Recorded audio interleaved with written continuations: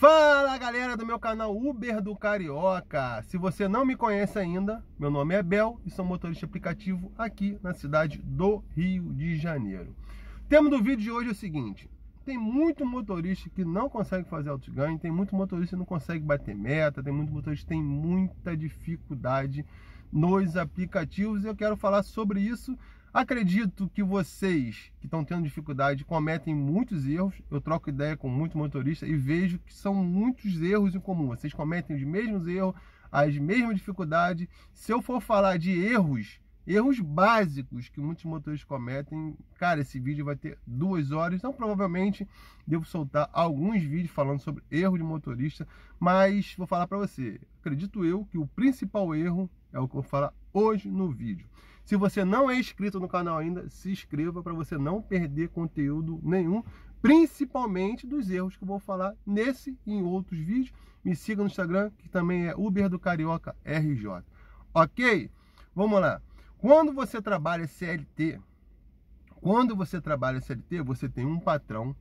Esse patrão ou então um, um coordenador, ou um gerente, seria uma pessoa que é responsável por você, que ele vai dizer o horário, tu vai chegar, o horário tu vai sair, como você deve seguir. Então, tipo assim, você não precisa se preocupar com isso. Vai ter alguém, dependendo da empresa, que vai analisar o seu desempenho, se você está mandando bem, se está mandando mal, onde você está acertando, onde você está errando. Quando você vem para Uber, muitas pessoas vêm com, ah, eu vou fazer meu horário, é flexibilidade.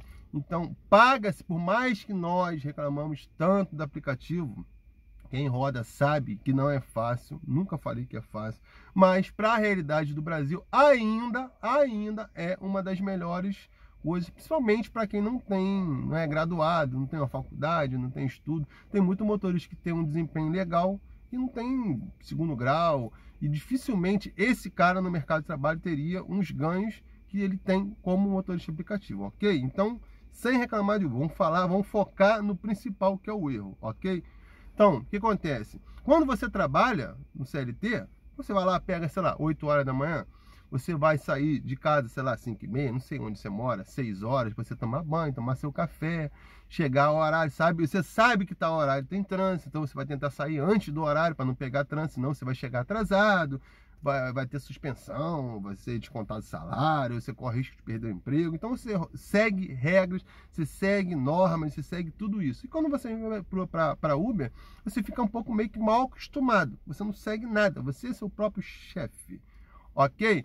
Então muitas pessoas erram muito nisso. Você erra no horário que você sai de casa eu, esse dia mesmo eu estava conversando, foi por causa dessa, dessa conversa eu resolvi fazer esse vídeo. O motorista aplicativo, ele falando, ah, eu saio 10 horas da manhã. Eu falei, mas por quê? O cara falou, eu senti que ele tentou arrumar uma desculpa pelo motivo dele estar tá saindo 10 horas da manhã. Ele não tem filho, não é porque ele casa de filho, não é por causa de nada, ele sai porque, sai. Entendeu? Aí eu pergunto para você, que emprego ele iria arrumar onde ele pudesse começar a trabalhar ou sair de casa, sair de casa 10 horas da manhã. É bem difícil. Tem emprego? Pode até ter, mas é muito difícil, é fora do padrão. Então, eu falei com ele, cara, tu sai no horário que já está todo mundo no trabalho. Você sai no horário que as pessoas já estão trabalhando, a grande maioria já está trabalhando. E você pretende pegar quem? O, a massa, o público maior, o melhor horário, tu já perdeu. Tu já perdeu. Então fica difícil. Aí eu falei com ele, cara, faz um teste. A gente trocando ideia, faz um teste. Você mora onde? Ah, mora em tal lugar. Sai cedo. De repente você vai chegar mais cedo em casa. Beleza? E ele falou, ah, mas é porque eu não gosto de trânsito. Eu falei, cara, sai cedo. Tu vai pegar o trânsito amanhã? Sim. Mas o do final do dia tu não vai pegar. De repente já bateu a meta. E se tu pegar cedo, quando você quiser voltar para casa, sei lá, 5, 5 e meia da tarde, é um horário que tem muitas pessoas indo para casa. Então você tem uma enorme chance de pegar uma, uma viagem para sua área com mais facilidade. Em vez de você ficar, sei lá, 10 horas da noite, tu vai pegar 10 até as 10 da noite, 10 horas da noite, tentando achar uma pessoa que queira ir para o mesmo local que você. 5 horas, 5 e meia, 6 horas, é muito mais fácil. Concorda comigo? Ele ah, é bem e tal. Fica assim, pô, é um erro grosseiro. Tem pessoas que pegam esse horário porque tem que, outros compromissos. E realmente não dá para pegar mais cedo. Mas você, quando trabalha com motor explicativo, você tem que ter um planejamento como se você tivesse um chefe. Imagina que seu chefe está ainda no controle da situação. Faça disso aqui como se fosse um trabalho CLT. Trabalhe no mesmo horário, sempre, tenha aquela rotina. Por quê? Você quando tem uma rotina, entendeu? Ou um planejamento, pelo menos, você vai estar sempre rodando aquele mesmo horário, você vai começar a se acostumar com a rotina daquele horário. A hora que toca, onde toca, por que, que aquele horário para de tocar, se naquele horário que está parando de tocar, vale a pena às vezes você baixar a régua, aceitar uma corrida menos vantajosa, apenas para não ficar parado. Lógico, não é aceitar qualquer bosta, é aceitar uma corrida com a régua mais baixa, mas que te dê um lucro legal. Então você vai ter um conhecimento melhor sobre aquele horário e tem um planejamento antes de começar a semana. Eu, eu por exemplo, agora eu tenho rodado de manhã, tem parado, sei lá, 8 horas da noite. É o melhor horário? Não é. Para mim, não é. Mas é horário que infelizmente eu rendo mais. Eu tentei pegar madruga, mas cara, não tô me adaptando dia de semana na madruga. Da 11 horas da noite, para de tocar, dá um desânimo. Aí eu fico parado muitas horas, no, muitas horas não, fico parado muito tempo às vezes num local e eu fico receoso, questão de assalto. Pô, trabalho no Rio de Janeiro.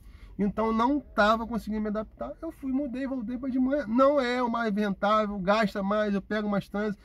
Mas, cara, eu não sei. Eu funciono mais assim. Às 6 horas da manhã eu saio de casa porque eu moro perto de tudo. Então não adianta eu sair antes, que não toca. Já fiz teste, não, não dá. É mais para quem mora mais afastado. Como eu moro muito no Tijuca, é perto de tudo, então 6 horas é o horário ideal para sair. Que é o horário que começa a tocar. Se eu sair e ligar o aplicativo 5 horas, vai tocar primeiro às 5h40, porque não toca. É minha região é assim. Então eu vou trabalhar de acordo com a minha, minha religião, não, minha região. Então você tem que se organizar. Segunda tu vai rodar, ó, segunda eu rodo cedo, pego cedo. Terça eu pego cedo. Quarta, agora eu tô trabalhando assim, as coisas vão mudando. Quarta eu tô pegando cedo, aí quinta-feira eu posso virar a chave. Se eu virar a chave, não, porque quinta já tem a madrugada, eu posso ir para madrugada. Se eu virar a chave, eu já vou me organizar para quinta eu sair mais cedo. Sexta eu sair mais, ma, ma, é, quinta eu sair mais tarde, sexta eu sair mais tarde Sábado eu saio mais tarde, mas tem que lembrar que segunda volta normal. Então, domingo eu não posso sair muito mais tarde. Domingo, 11 horas já está bombando. É o melhor horário é a partir de 11. Então, domingo eu tento sair um pouco mais cedo para parar mais cedo eu voltar de novo o reloginho. Segunda cedo, terça cedo. Então, tipo assim, você se planeja lá do início. Entendeu? Não é no dia. Você se planeja lá do início. E você faz o planejamento e segue o planejamento passo a passo, como se tivesse no seu trabalho. Porque no seu trabalho, quando você trabalhar na CLT, você não pode falar, patrão, amanhã eu vou chegar a 10.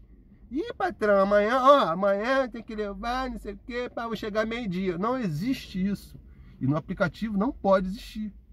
Se você não tiver uma regularidade, se não tiver uma organização, se você não tiver um planejamento, parceiro, você pode ser o melhor motorista do mundo, mas você vai ter mais dificuldade. Já é difícil se planejando. Imagina se você levar isso aqui à moda Bangu. Entendeu? Então se planeje. Tenha o seu planejamento começando antes, antes da segunda-feira. No domingo você já vai organizando. Para, relaxa, senta, planeja, olha a previsão do tempo, vê se vai ter evento, se planeja em cima do evento, se planeja em cima da previsão do tempo, se planeje. Entendeu? Isso aqui não é bagunça.